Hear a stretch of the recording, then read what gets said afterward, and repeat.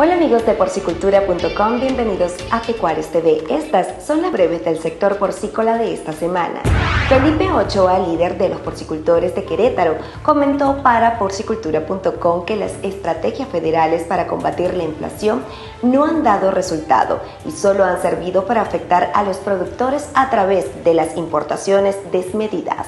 También platicamos con Manuel Santini, presidente de los porcicultores en Sonora, quien nos adelantó que se está buscando establecer mesas de trabajo con las autoridades para atender los diferentes retos.